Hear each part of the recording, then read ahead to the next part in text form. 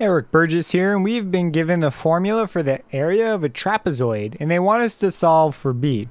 So I really like these problems just because numbers, you got to plug them in and do all these things, but with uh, with just symbols and, and variables and letters and whatnot, you can do just pure algebraic rules and manipulation. So it's pretty nice that way. So let's go ahead and solve this thing, shall we? So the name of the game is get b by itself. Now sometimes you need a little bit of inspiration to tell what to do. So just looking at this, uh, the b is, in, is inside these parentheses, so that's going to be a problem. So we definitely need to get it out of there. We want to be able to separate the b from the from these parentheses. So I'm going to distribute this 1 half h into the parentheses. And my motivation for this is I don't want the b in these parentheses because there's no way to, to separate it. So we say, okay, well, the area is equal. And this would just be 1 half. And then I'm going to put the b first just because. bh plus, and then hb. Now, it does matter a lot if it's a lowercase or an uppercase b, okay? Because this lowercase b could stand for something else uh, in than the uppercase B. So they're not the same thing. I see students uh, occasionally make this mistake. They, they, they interchange them for upper and lowercase. Completely not correct. Do not do that. you may screw up something really important, especially if there are times where you have both the lower and uppercase version running around. Okay, so now we've separated it out and we can start to sort of solve it as if uh, everything else was a number except this b. So, right, if that was the case, we try to just separate it. And the first thing we would do is we'd remove this extra bit that's way over here, right? This is the easiest to get rid of because we can just do the opposite of it. So this is plus HB. So we're going to do minus HB. And this A is positive, right? I'm just going to make that explicit. And then we have a minus HB here. We have to do it to both sides because of equality. And when we do that, HB minus HB, well, these would be the exact same thing. If these were numbers, they would be the same numbers. So they would combine to be zero, right? They would go to zero. And anything plus zero is itself. So we have on one side 1 half BH. And on the other one, we have minus HB plus A, capital A. All right, so here we can now get rid of all the stuff that's next to this B. So we see that all of the stuff that's next to this B is attached by multiplication. So if we do division, we'll actually get rid of it. Now, I'm going to do the 1 half and the h separately just to show how to deal with the 1 half because I see some students, you're just coming back, you get a little overwhelmed by it. So let's go ahead and do that. So first, I'm going to divide both sides by h. So that part's easy enough. So the h's simplify out to 1, and 1 times anything is itself, so these go to 1. And so we are left with on one side negative hb plus a over, let me do that over a bit better, over h is equal to 1 half b.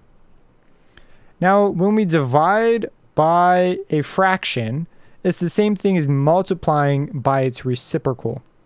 And the reason for this is look at this. If I have 1 half divided by 1 half, well, I can multiply the top and the bottom by a form of 1. Because if I multiply this whole thing by 1, that's, that doesn't change anything. It's the same thing. So if I multiply by 2 over 1 and 2 over 1, well, 2 over 1 and 2 over 1, this is really just 1, right? Because when you divide them, they are both kind of like uh, they're they're going to simplify to 1, and 1 times anything is itself. So still totally valid. And it turns out that these will always simplify when you when you multiply by the flipped or the reciprocal version of the fraction. So you'll always get a 1 on the bottom. And then on the top, you're just going to do this multiplication. Now, in this case, it conveniently turned out to be 1, but this will not always be true. Uh, but you could see that we can rewrite any division of a fraction by as just the multiplication of its reciprocal, just in general. Like, I don't know. Let me write it more like this. If I have a fraction a over b, and I want to I want to divide it by another fraction c over d, so we're just pretending these are all numbers. Y could multiply by a form of 1. So whatever it is on the top and the bottom, they have to match because that's the same thing as 1. So I choose D over C, the reciprocal of this. And C over D, or my bad, D over C. Now these, the C and the C simplify and the D and D simplify. So on the bottom we have 1, but on the top we have A over B times D over C.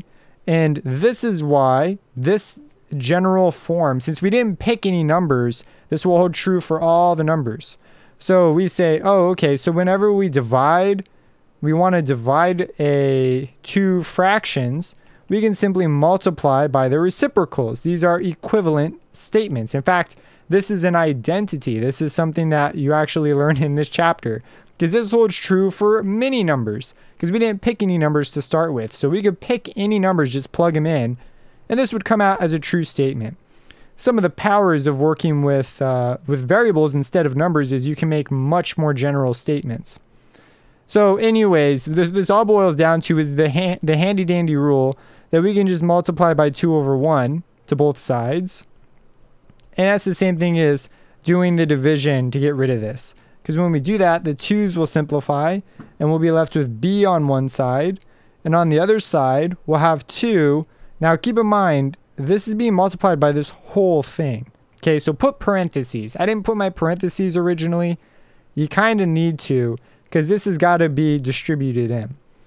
So this is 2 times negative hb plus a over h. Remember when we multiply fractions, the they multiply straight across. So it's h times 1 and 2 times this whole numerator like we have here.